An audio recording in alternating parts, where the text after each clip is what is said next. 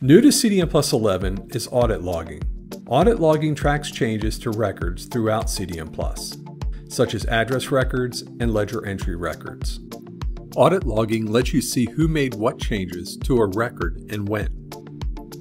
Let's say Jody, the church administrator, has learned that a member is no longer receiving mailings from the church.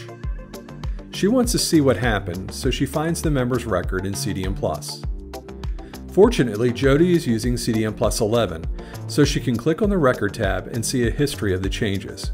She discovers that Patricia made a change on July 30th, but what change did she make? CDM Plus comes to her rescue. Not only can she see who and when changes were made, she can click on the Update item in the record window and see information like the previous address. Now Jody can change the address to the previous one and the problem is solved.